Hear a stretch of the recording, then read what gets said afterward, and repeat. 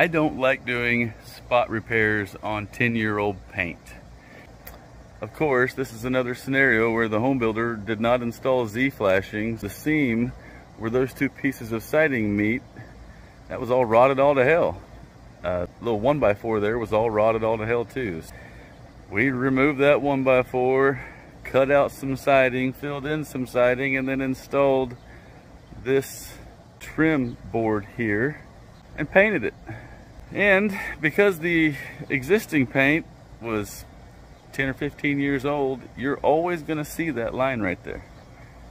Anytime you do paint repairs on a house that has 10 or 15 year old paint on it, some folks will call this flashing. They'll say that the paint has flashed. Basically, that just means that it looks a lot different and you're damn well always gonna notice where that paint repair was done.